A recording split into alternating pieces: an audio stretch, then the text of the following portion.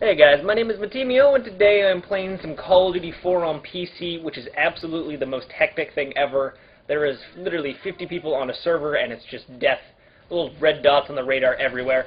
Overall, it's a lot of fun, but it gets pretty ridiculous. Uh, this is just going to be a couple of clips, or not, actually it's going to be a continuous clip, but uh, a part of a match, just because matches last 20 minutes.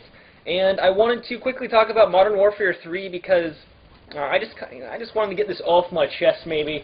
And that is uh, with Modern Warfare 3 coming out and the small amount of information that we have uh, been given and the videos that we have seen, uh, to be honest, I'm, I'm curious to see what Call of Duty, uh, the series, is going to bring to the table to push the genre, the first-person shooter, uh, to the next level and to the place where I think Bad Company is, or not, I'm sorry, not Bad Company, but Battlefield 3 is really taking uh, first-person shooters in a new direction and just improving the genre in general. And I just want to know what Call of Duty is really going to bring to the table.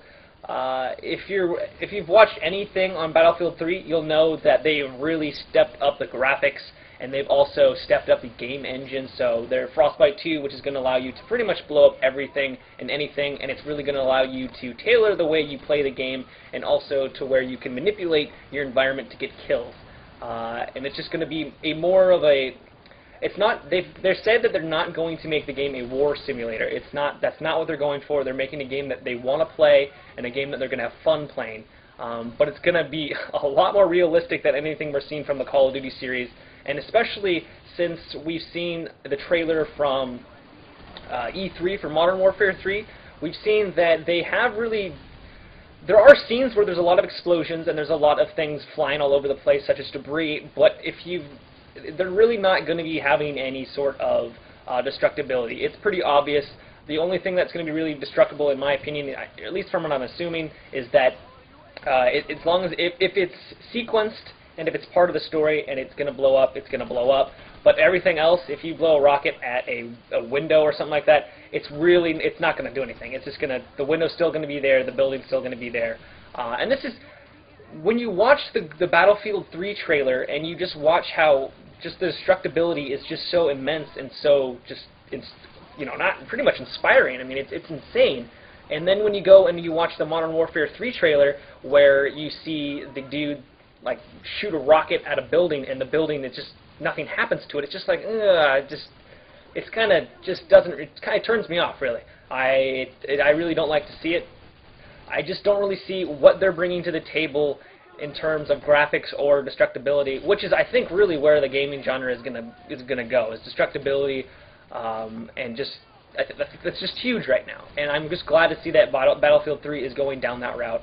But I wanted to get your guys' opinion. What do you think that they're going to bring to the Call of Duty series that's really going to renovate uh, the series? Because right now it's growing stale. Everyone's complaining about it, and it's just it's the same old, same old. It's an arcade shooter, which is totally fine, and I know that they haven't really adjusted or changed. They've adjust, made adjustments to their to their um, I can't even think of it right now. Their engine, but they're really not doing anything drastic to try to uh, change the game in any real way. At least that's what it seems like. So it's still going to be the really fun, fast-paced thing that you expect from a Modern Warfare 2. Uh, I'm sorry, a Modern Warfare game from an Infinity Ward, but it's not going to really be pushing the limits from what I've seen so far. And I don't want to say that it's not going to because we really haven't had a lot of information released.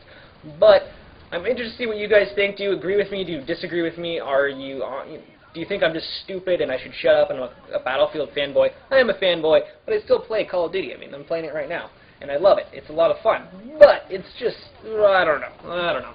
Let me know in the comment section below. I would really appreciate that. But uh, this this about wraps up the video, guys. I hope you enjoyed, and if you did, I would really appreciate it if you could give this video a rating. It really helps me out. But also, if you would like to see more videos from me, I recommend check out my channel and subscribe.